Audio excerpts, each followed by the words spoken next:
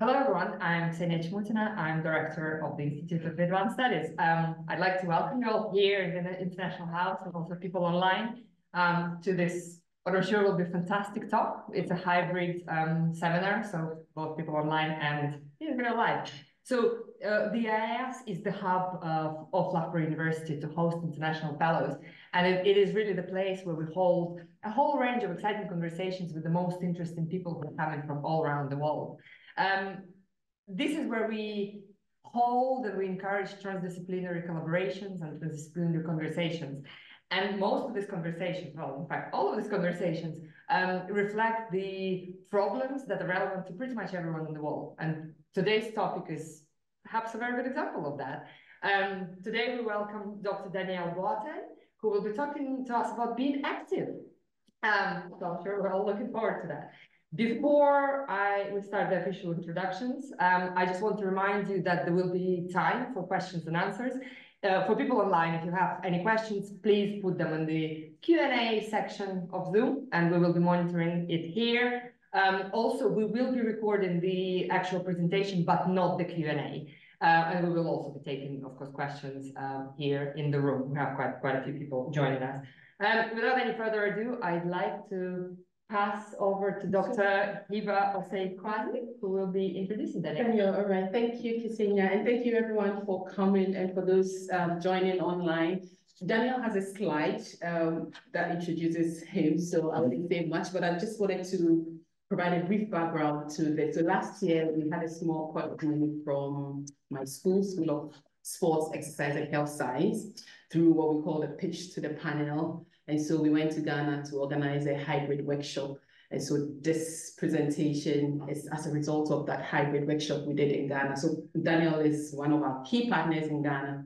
And so that's why we invited him to come to Loughborough today. So Daniel, over to you. I, I, think you, you can introduce yourself very well. So I'll let you Thank you. All right, thank you. Thanks everyone, uh, those who are here, those online. Uh, thanks for joining. And I uh, say I'm glad to be here.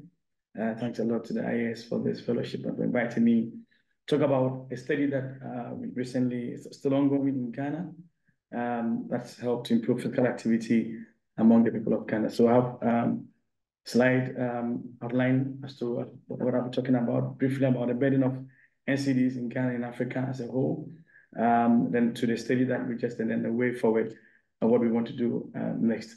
So as Hibbah said, um, Currently, I'm a lecturer at the Kwame Nkrumah University of Science and Technology in Ghana, uh, but it's also a whole bit of history there because that's where I had my bachelor degree, and also I did an MPH, a Master of Public Health uh, there, also at the Kwame Nkrumah University. And then uh, from there, I moved on to um, uh, the Netherlands, where I did um, Master of Science in Epidemiology. And then uh, I think I lived in the Netherlands for some time, about 12 years. Um, I did um, this UMCU, uh, University Medical Center, Utrecht, where I did my master's and also PhD. So this was my PhD graduation Utrecht University 2019, um, where I worked with migration and cardiovascular diseases. Um, so this was by my PhD. And then right after the PhD, I worked uh, in a multinational consortium, uh, which were looking at uh, integrated um, care for diabetes and hypertension in Cambodia, Slovenia, and Belgium, I think for, for two to three years. And then following that, I went back to, to Ghana. My, research interest is mostly on non-communicable disease uh, prevention, uh, risk factors, and then also estimating the uh, cardiovascular disease risk among subpopulations. So um, this is a bit of my profile on, on Google uh, Scholar. Um, as, as, as, a young career researcher with about 60 publications and also um, uh, citations. That's at um, for 2024 having about two more than 2,000 citations, and then with uh, a h-index of 23. Um, what do I hope to achieve in the future as far as research and my career is concerned? Uh, to be a leader in NCD prevention in Ghana, both research and then education, because currently I also teach NCDs at the university uh, where I'm lecturing. Um, also have a family, so this uh, I have um, my wife and children currently in the Netherlands. I have uh, four children. Um, and then uh, that's a quite a sizable family, I think, to manage for now. So, so that's, that's briefly about me. All right, so, um, I think I cannot, uh, talk about physical activity without re-echoing, uh, the challenge of NCDs globally and then, and then narrowing it down to, um, the African context. Um, every year NCDs are responsible for loss of about forty-one million lives. Um, CVDs or cardiovascular disease and diabetes, are responsible for almost fifty percent of all NCD deaths. And then over three quarters of all NCD deaths, including eighty-five percent of those which we call premature, happen in low and middle income countries where Ghana is also um, part. And I would like to say here that um, I, I traveled to Ghana 2021 to start teaching and um, up until today, I cannot count the number of people around me who have had stroke. A lot of people, a lot of people, young, uh, say that's the premature age, uh, less than 70 years, 50 years, and then it's quite a lot. So that's that's becoming a major problem there. If we look at the top four NCDs, um, you can see that 33 million people die each year on the top four, which is cardiovascular disease, diabetes, uh, chronic respiratory disease, and then cancers. Um, and then also, again, we can talk about 77% of them happening in low income countries. So we bearing the greatest burden of, of all these uh, conditions. And then um, uh, one very important issue is that um, people are not diagnosed of the condition, um, and then um, also control also becomes a problem, less than 40%.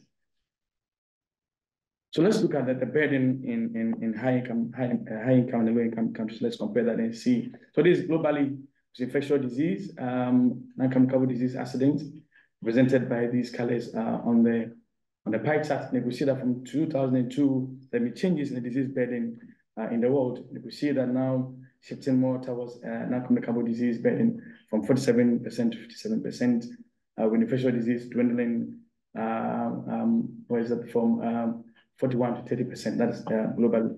But let's compare uh, high income, low income, the same problem. So you see low income countries, even though these diseases are term diseases of, of, of, of the west of, of high income countries, we are not being spared because we are moving from 33% uh, to 45%. Um, uh, that is up to 2030. That's the, the, the projection. So what are the, the, the, the, risk factors that are underlying these things? And my, my focus is on minimum physical activity, overweight, and obesity. Though diet is an important risk factor, I wouldn't focus much on that. Um, so in Europe, 59% of the population is overweight. Obesity is at 23%. Uh, physical activity rate is 29% across the European region. But in Africa, um, also, also we have higher burden of 31% of people being overweight and then 23% uh, obese.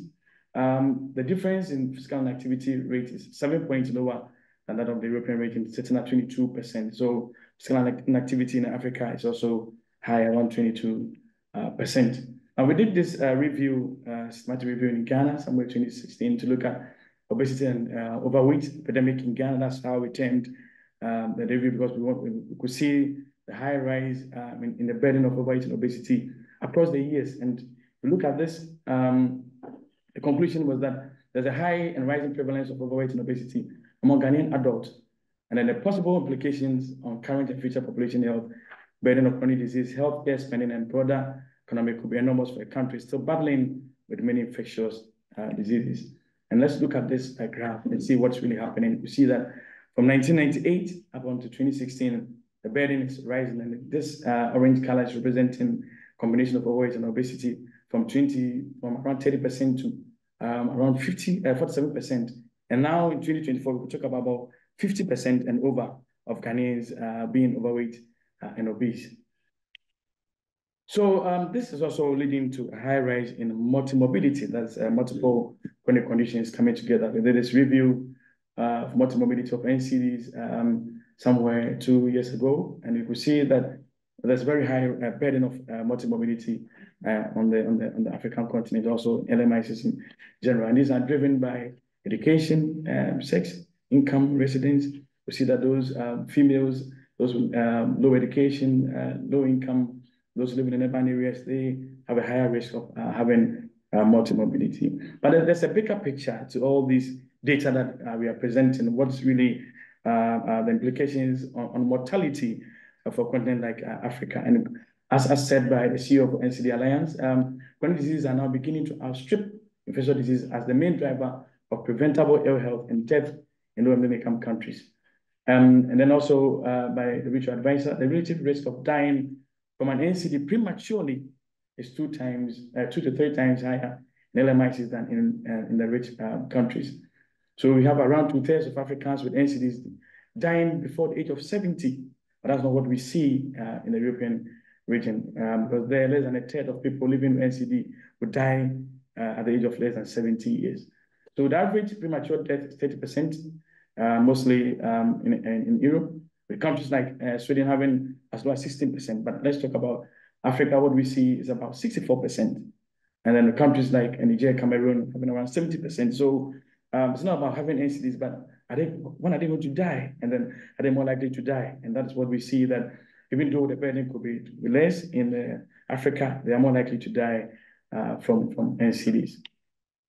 And we see from this picture, um, so the, the, the, deeper the color in terms of red and orange shows the likelihood to that The percentages around uh, 50, uh, 60, 70. We see that most countries in sub-Saharan Africa are more likely to die prematurely from NCDs compared to what we have in the European region. And what is driving these uh, is, is, what we call a cascade uh, of care. Uh, so how many people are being identified, how many people are being uh, diagnosed, treated, um, controlled. We see that many people are dropping out of the care cascade, um, mostly in, in, in Africa. And as we did similar study in South Africa, one in, Sierra Leone, where recently in Ghana. We that this is what we have uh, we are seeing. They are not screened on time, and even those who are screened, uh, what is the access to medication? Uh, are they being controlled? So we see that all these factors influence uh, ability uh, to keep them also um, alive. And this says that about 50% of people with diabetes and hypertension are undiagnosed in low income country, income country. And this reality that we see every day. So people will be there before they go to hospital, they complain of headache. By the time they get to hospital, uh, they already have a stroke or they have MI and all that. And as I said earlier on, uh, this is something that's uh, um, I'm passionate about because of uh, I see this as everyday reality uh, in where I stay uh, in Ghana. And uh, low access to NCD care also becomes a major setback for ability to keep people alive from NCDs. In most part of Africa, NCDs are only treated at health facilities in big cities, putting treatment for chronic disease out of reach of most rural, urban, and low-income populations. And therefore, one other issue is that when it happens in this way, people want still want treatment, so they opt for alternative care. And these alternative care sometimes are not the best. So they give them medicines, they promise them that this medicine will treat hypertension, will treat diabetes. And therefore, even when they manage to go for some um, controlled medications, um, um, they stop taking them and then they go for the alternative medicine. And then before you realize uh, it's, it's, something else, um, they have the strokes and all that. So this study was about knowledge and perception and awareness, which we think is an important factor as far as LMICs are concerned in Africa uh, is concerned. And we see that the, the understanding of the diseases, um, the mechanisms and everything, uh, the epidemiology, it's, it's, it's, very low. So um, in most part of Africa, uh, chronic conditions are termed of, of, of spirituality of, of the cause. So um, when someone has stroke, they think some something spiritual happened to the person, especially when this person is young. So if, if you advise about preventive mechanisms, really don't go well with them, but they still don't understand why this could be uh, treated or could uh, be uh, managed at, at, the hospital. So they prefer to take alternative uh, means for the healthcare. And uh, this is what um, um, is being termed as a ticking time bomb in Africa, because we don't know what's going to happen in the years to come, but this is becoming a big issue. And then someone also said it's a neglected um, um, crisis needing urgent attention. So we think now focus should be on NCDs, especially on LMICs, as has been in, in high-income countries to be able to bring the disease under control. So currently, what, what is there? Do we have anything that could help us? Uh, um, it's opportunity for a study like uh, climate study that we are doing in Ghana. What is currently there that could be an opportunity for us? So um, there, has been a lot of um, activities, a lot of research, uh, like this University of Ghana Medical Center launching NCD Care Service um, as an app to help people self-manage uh, NCD Care uh, Akomapa, which is a good meaning good heart.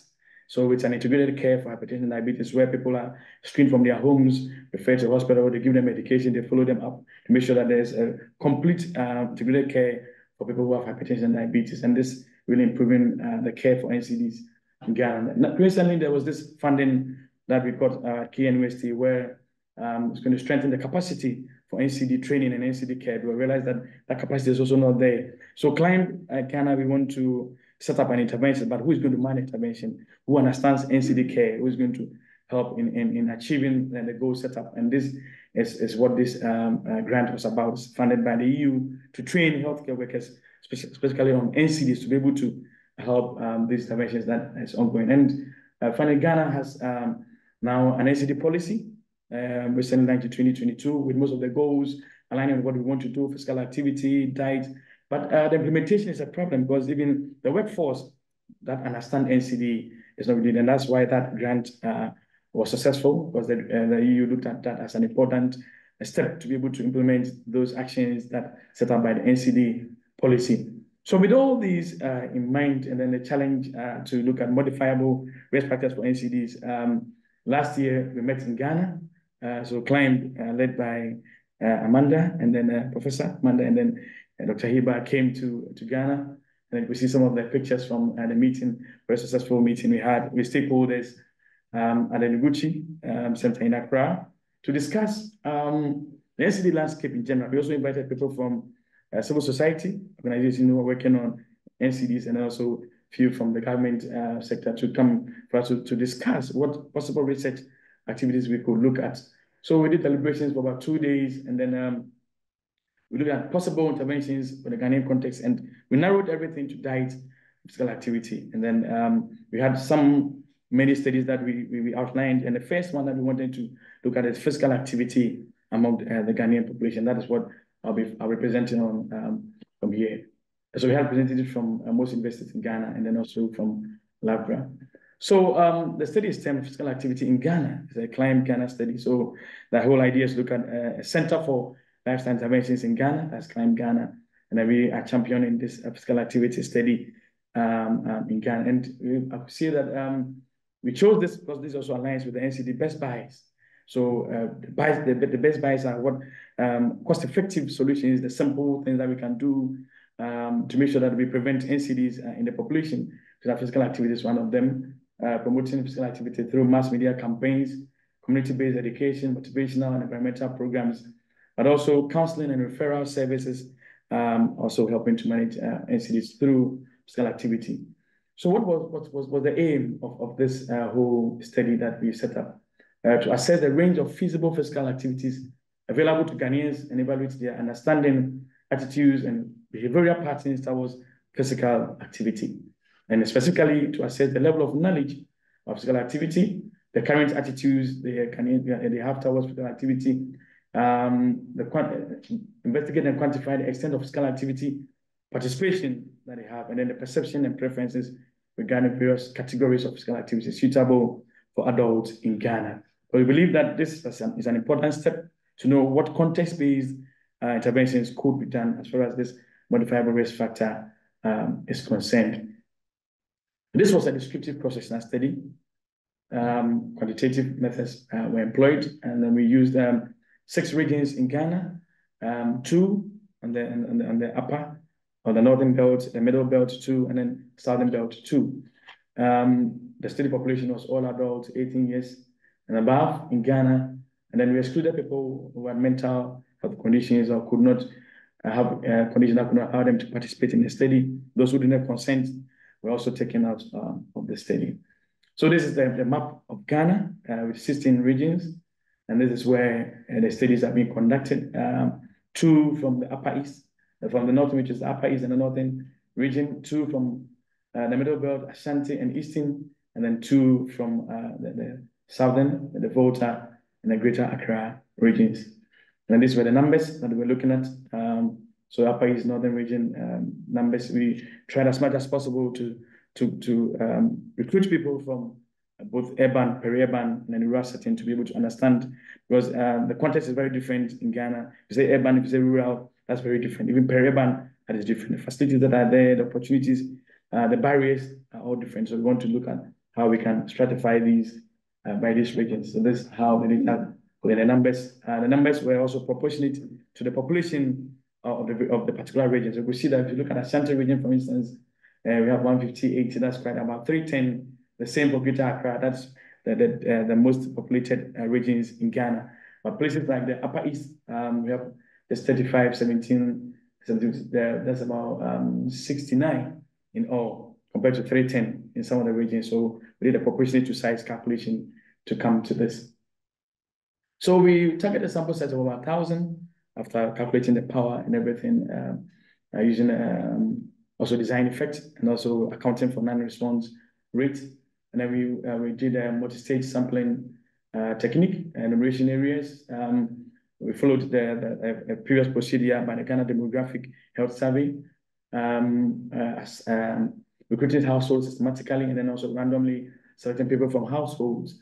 Um, the collection tools was researcher developed questionnaire, and then we sought ethical approval from University of Health and Allied Sciences Research Committee, and then we gave consent to participant. Uh, we use the Kobo Collect app, so if you consent to stay uh, to participate, and then we automatically you are interviewed. If you do not, you are asked to uh, or you are taken out of the study. So um, we use data for the analysis. Um, we did descriptive. This um, uh, presentation focused on the descriptive because the data came in uh, just a few days ago, so we couldn't do most of the um, uh, comparison, the, the stratifications. But um, we did descriptives of frequency tables, charts. Um, also do um, do chi-square, PCSX where necessary, and then uh, univariable and multivariable regression analysis to look at some associations between the socio-demographic characteristics, the analogy preferences, and also we try to stratify by rural, urban, divide by gender, uh, male and female, to see what's really happening. So these are the numbers that we've been able to, to, to uh, attain so far, uh, the data collected so far. And if we see that um, we're almost there, the total is 1,079, and currently have uh, 906. In some areas like rural, we're still a bit lower than the 277. But if you look at the peri-urban, we have 290 uh, instead of 277. So we, we are almost getting um, to the data that we need. So what's the age distribution? So this mostly among young adults, uh, 18 to 25 years, uh, that's about 41.5%. Uh, but we still have um, wide distribution. They have 51 years and more, it's about 6.5. So most people um, are within the young uh, adult age group with a mean age of about 30.6. Um, the gender, most of them are females, about uh, 7%. And then you could see most of them are from the urban areas, um, 64%, 21 from rural area, and then 15% from the peri-urban um, area. Now, um, there was a question about the perception about body weight. So we asked them, would you like to lose weight? And then we see that 52% um, are saying, uh, not really. Um, and then 23.3% are saying yes, definitely. 11.3 are saying probably should. And I think this is very interesting because it's, it's aligned very well with the context that we find ourselves. I was discussing with Hibbah this morning, and I was telling her that if I go home and I'm lean, my mother will ask my wife, uh, why haven't you been feeding my son? Why is my son lean? And then uh, this is, is, an ongoing, uh, it's, it's been there for and it's still there today. So body weight is very important. And in Ghana, we see that as a sign of wellness, you know, so um, people will not really want to lose their weight. Um, the same about the concern about their body weight, uh, about, about, about, little about half of them say not really, they are not concerned. So, um, but people say yes, a lot.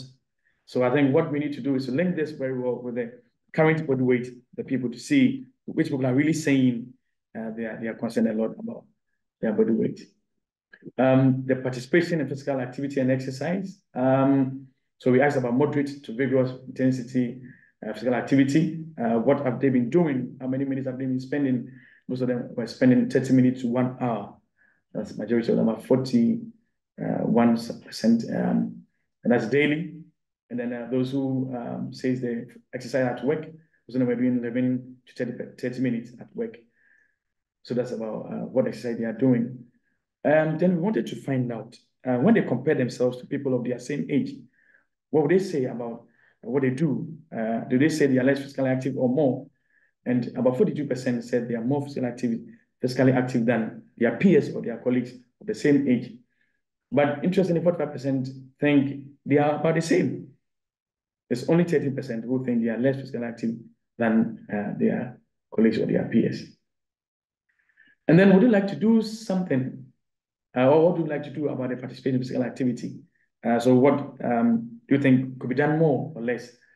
Um, people think that they want to be more physically active. I think is very important. And that's about 57%. We'll see something very interesting later. Uh, they think, uh, you know, they, they, they wish, they think they should, or they want to. And then 34%, uh, 3.6, think they want to be the same. They don't want to do more. Uh, and then 6% think they want to be less physically active. so um, we asked them, do they need to do more physical, acti uh, physical activity each week? And majority, 72% think yes, they need to do more physical activity um, each week. Very interesting finding. What are the facilitators of physical activity? What, what will help them to do more physical activity if they want to? And it uh, highlighted some key uh, um, points that they raised, some uh, key factors with the red uh, bars below. Um, some, this was a multiple choice because the numbers are, um, so we just compress everything. Some are saying that a phone app that tracks my physical activity is what will help me uh, or help me to improve my physical activity or become more physically active. Some are saying receiving alerts on their phone, reminding them and encouraging them to achieve their goals that they've set on physical activity. Uh, others are saying being active with other people, such as family and friends, encouragement from other people in their lives, and having regular challenges sent to them by email. And I think this uh, issue about um, family and friends uh, is very important. Group activity really works and where we come from encouragement from people. So recently, uh, I teach um, NCD interventions to the global health class, and then they, they designed a physical activity intervention for the class. So they, they are going to use a, a, an app to track who is exercising more, who is working more.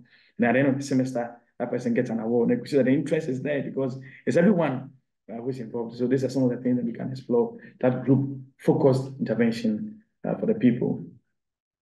So what stops them uh, from taking part in physical activity? And then we see that most of them are saying lack of time but they are too busy. And honestly, if you look at the, the, the steady population, uh, the young adults, they have to struggle with work, uh, uh, with, with, finance, with, with, with, feeding and all that, and therefore time becoming uh, major issue. So if you want to do anything, you have to factor this and see what can they still do amidst uh, their still uh, busy schedule. Some are saying they are not interested, and this is something that uh, we say that um, people say they want to do physical activity, but not, they are not interested. And then we were discussing why, yes, it's possible. They want to do, but you know, the motivation, the interest is not there. You know, so I wish I could do something. I don't have the interest. So if you have the motivation to do it, then somebody tells me why I need to do physical activity, uh, maybe, and then gives me a clear guideline because someone said, not sure how to start. And I was telling him about that when I was in the Netherlands, I bought, uh, how do you call it, uh, this thing that they work on it, uh, treadmill. I was using regularly. I went to Ghana two years, two, three years ago. I just kept it under my bed. And, and, these two, there are two factors that are uh, hindering my, my ability to do that. One is my busy schedule. And then two, not how to, I'm not sure how to start. You know, just going to pick it and then setting it up somewhere in the house and then doing it. I don't know how to start. So, you know, it looks very easy, but you know, the motivation uh, so it's still kept under my bed since I I, I took it from from uh, Amsterdam to Ghana. yes, it, it was a new thing that I bought, and I was using it very well in Amsterdam, but it's now under my bed in Ghana because I'm not sure how to how to how to go about it again. Um, people are saying it's not a priority in their life, and um, there was a discussion we had uh, yesterday about about incomes and and then um taking care of families and what's the priority for people. You know, if you have a challenge, uh, work job challenge, and all these, so to become less active, uh, less important to you because all what you need to do is to put food on the table for your family. So how do we balance all this and then look for something that will still motivate them to be able to do a physical activity? Okay. So we also study their knowledge. What is very important. What do they understand themselves? Um, because most of them were doing uh, within 30 minutes of exercise, and it aligns very well with what they understand They understand that moderate vigorous intensive physical activity per day is just about thirty minutes. That's what that's what they understand. That is why we see that most of them were actually uh, actually doing that. But people also think it's about one hour. People think it's more than three hours. So varied understanding knowledge about physical activity um, uh, among uh, these group of people. And then access and use of social media. I wanted to explore that to see. And then you see most of them have access to smartphones on the 20 devices, uh, about 85.3%. And then um, what about the use? Um, among those who have it, 92% using social media. So if you want to put something through this means, probably there's an opportunity there to explore. So what part of social media do they use? They are everywhere. WhatsApp, Facebook, Telegram, almost everywhere. You see them having access to all these. Um, and um, do they want to see messages on social media? Uh, interestingly, 27% said they are not interested. But 30.6 are saying they are very interested. But I think this is a group to target, may be interested. So you need to give them a motivation, give them a reason uh, to be able to accept that intervention. I think you can be able to win them. Um, the role of um, health staff in physical activity education and counseling. Uh, they believe that um, health staff could play a role. So doctors and nurses, and they're saying yes, definitely. And you see, in, in this context of Africa, most people have used um, interventions through health workers, have community health workers, even we have the mainstream doctors and, and nurses championing most interventions, and it's really working. And these people believe that if doctors and nurses give them advice, physical activity, they are going to take it. And they believe they should play a role in that. And therefore, I think because they see them as, as the, the all know, so they know to do, and then they know, know what is good for them. So I think um, a, and then uh, 15% say probably. So it, it's very equal for, for them, for doctors and nurses. So we should explore how to really involve these uh, health workers in uh, these uh, interventions that we, we want to set up. So in summary, we said that there was misperceptions about the body weight, physical activity, also about knowledge, um, willingness motivated uh, by group support. If you have working in a group, in a family, in a community, that really improve the willingness to do physical activity. A workload and family responsibilities is a barrier to physical activity for most people. Social media, healthcare workers, opportunity for us to explore. And you will see that I was looking for this picture for some time. I got it. It's, it's a game from childhood to adulthood called Ampe in Ghana. And most people I know Hibbah has played this. Um, unless he was a child, and even guys sometimes played it, played. How can we look at some of these games that have been part of the culture for a very long time? Instead of it's a very active game. You stand, you clap, do a lot of things. Instead of um, introducing some other activities that they may not be used but it's a game. They play a game, but they still exercise. So this is one of the things that we could uh, explore later. So what's the way forward? Um, we have to still do the, the stratification analysis by subgroups to really understand the data that we have. Uh, we look at factors influencing the willingness to engage physical activity. Um, we want to do a Delphi survey. That's what we are working on this year to identify all other NCD research priorities. And a key part of this will be engage with stakeholders for physical activity. What does the government want to invest in? Uh, what are their priorities on physical activity? And then also do a qualitative in-depth study to understand the reasons for the misperception that we found in this study, and then also do different assessment for older people. I believe that they are different group of people, and interestingly, our study captured mostly younger people, so this cannot be easily attributed to, to them. So we need to do an assessment for them if that is our focus. So I want to acknowledge Loughborough University, um, SSES, um, for their contribution uh, to this study. And then also uh, Institute of Advanced Studies, where I sit today. Very glad to be here for funding the fellowship, bringing me to uh, to Loughborough. Very interesting. And then also CLiMB, um, Professor Manda, and then uh, Dr. Hibbah. Uh, the, um, the, the funding for this physical activity data collection was through CLiMB, and then also partners in Ghana and University of Ghana um, Development Studies, um, Noguchi, they are contributing uh, to this study and also research assistant and study participant. I think one of the key persons in this um, was uh, a student of uh, a professor here. Um, Yes. Ines, Emmanuel. Emmanuel, yes, yes, yes. So um, you in the photo, he's the biggest. very big and tall, yeah. But it's very active. Yes. Yeah, Very active, yeah. I felt very safe with you going around. Crowds. Right, so um, we are very happy for this. Um, one thing that Hibbah has not done is, I think two days ago, we went for dinner and then um, there was an apology for, for, for the weather. Then- So as much as I acknowledge her bringing me here, I think she still needs to apologize for the. All right, thank you very much for listening.